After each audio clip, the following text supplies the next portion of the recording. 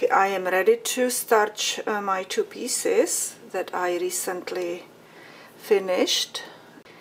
But I also need to first tag this end, weave it in. So this is how I usually do it. I will use my needle and then if I will be successful I will try to put it through this eye of the needle. Here we go, I did it. okay, and uh, I just pull. All weaved in, perfect. So let's go and starch now. We will use about half a cup of water and put it in a little saucepan. Now while the uh, water is heating up, we are going to go and mix our potion. Take about one eighth of a cup of water and about one and about one teaspoon, uh, tablespoon of cornstarch and mix mix it mix the potion okay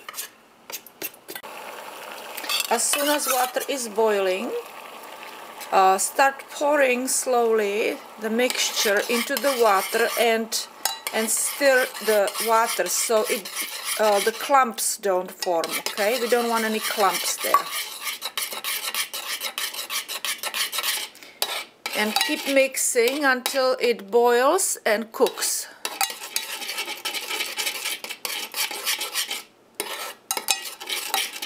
It takes about a minute or so to um, to be cooked.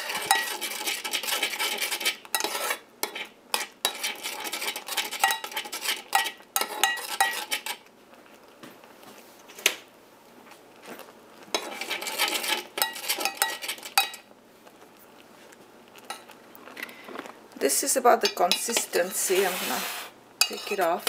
This is about the consistency of the uh,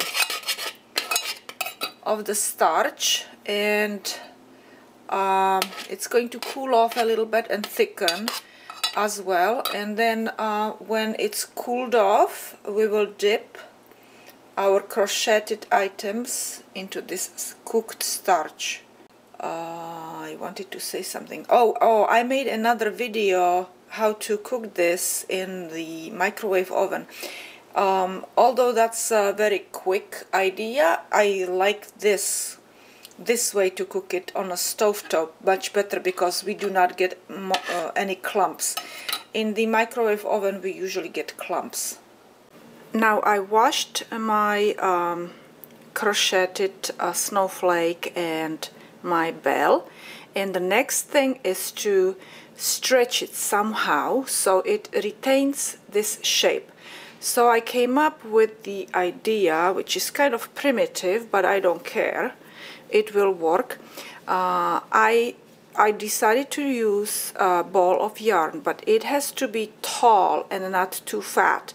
So I've been winding it tightly and turning it uh, lengthwise, okay? Just, I don't do it this way and this way. No, no, no. Oops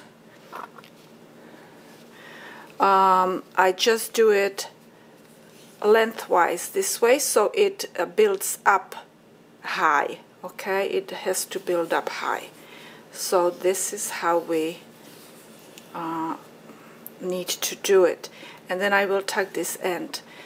I cut off a piece of uh, a piece of plastic bag here and I will put this in the middle and I will wrap it like this and put a rubber band around it.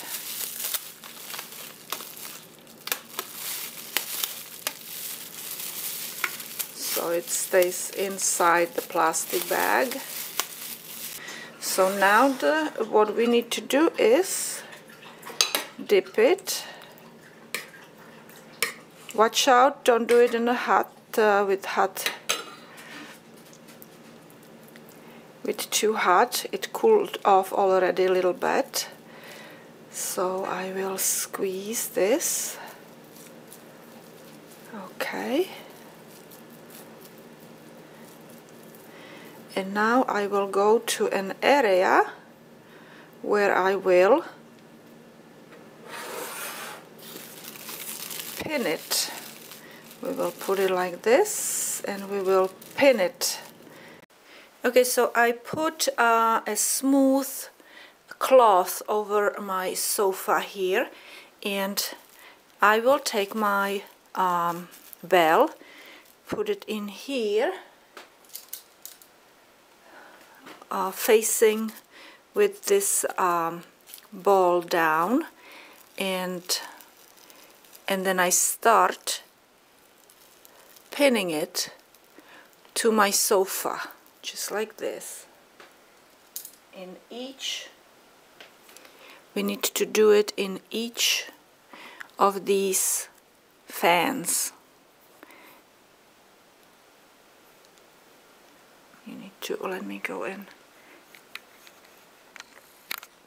There you might see better. Just a little bit like that. Just spread it out a little bit. Do it this way maybe you will see better. Okay, and then this one here. Just a little bit. Maybe this is too far. Maybe make it a little closer there. And now this one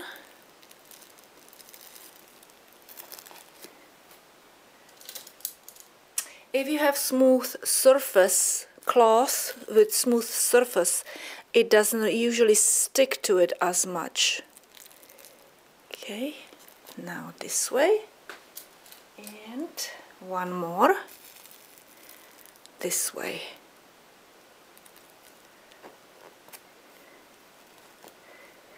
And this one needs to be stretched out a little bit more.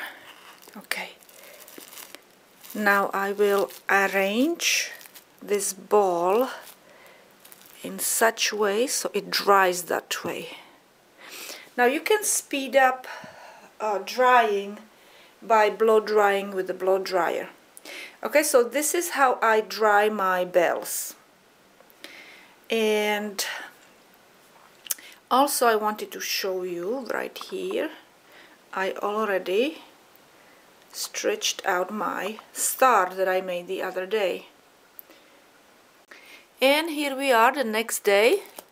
I let it dry over the overnight. Sometimes I blow dry it and here it is our our bell. We need to unglue it